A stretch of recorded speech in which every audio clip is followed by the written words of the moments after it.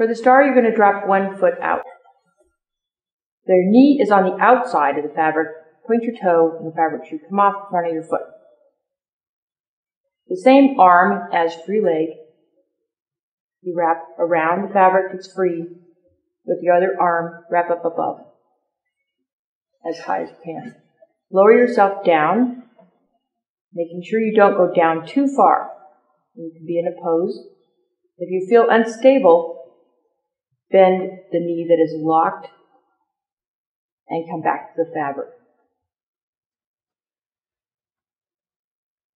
The more parallel you are to the ground in this pose, the more difficult it will be. And it will be harder to get back to your fabric. You can also pose with the fabric around your upper back. Quite a bit of variety with the star pose.